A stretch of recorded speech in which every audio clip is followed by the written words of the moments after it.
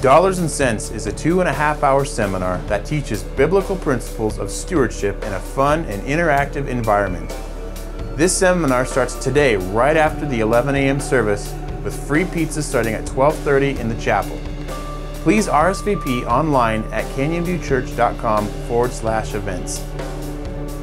Isaiah Huber at the Movement. Isaiah Huber is a missionary in Brazil who will be speaking September 17th at 6:30 p.m. at the movement service in the chapel. Come learn the nuts and bolts and how-tos of discipleship from a pastor who is experiencing a discipleship revival in Brazil. Well, Kirk, what's going on here? Well, it looks to me like we're having a potluck. And then after that, we may have a baptism. Oh God, my God, I seek you. I want to move when you move. You're more than I could long for. I thirst for you. You're an ocean to my soul. To my soul.